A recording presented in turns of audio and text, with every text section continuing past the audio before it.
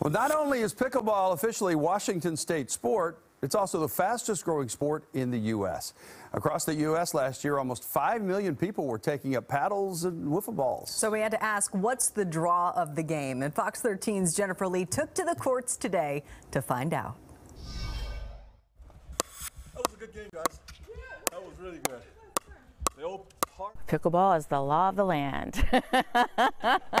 Kate Van Gen picked up a pickleball paddle for the first time the summer of 2020. I had no familiarity with pickleball at the time. In fact, I was a little intimidated to join. Many describe it as a mixture of tennis, badminton, and ping pong.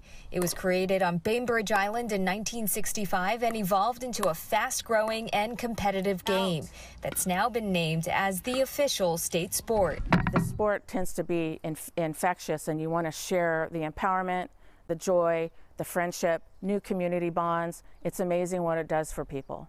Van Jen is even a USA Pickleball ambassador, one of only about 30 in the state. It was by chance she met State Senator John Lovick and joined the team to make pickleball the state sport.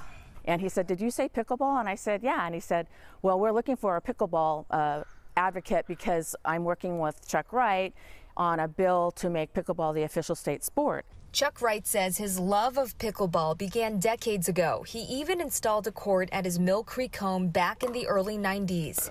And my kids then were in high school, they would contact their friends and they'd have tournaments, uh, four or five hours tournaments.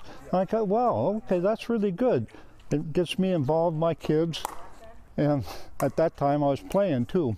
Last summer, Wright says he was delighted to learn our state didn't have an official sport, so he could start pushing for pickleball. Because pickleball was born in Washington. Pickleball is Washington, Washington is pickleball. USA Pickleball says the sport started growing rapidly thanks to its popularity within YMCA facilities, community centers, gym classes, and retirement communities. That you want to win, but you don't care if you lose because you know you get to play another game and you know you get to have a lot of fun. State Senator Lovick and local players say their work is far from over. Next plans include growing the game with youth programming, building new courts, and jump-starting pickleball tourism in Washington State. We have a lot of great teams here. You know, the Zags, uh, the, uh, the Seahawks, but pickleball is the official state sport. In Mill Creek, Jennifer Lee, Fox 13 News. Well, the CEO of USA Pickleball was on Bainbridge Island when the governor officially signed the bill into law. And he says the next step is the Olympics. He's hoping pickleball will become an exhibition sport by 2028.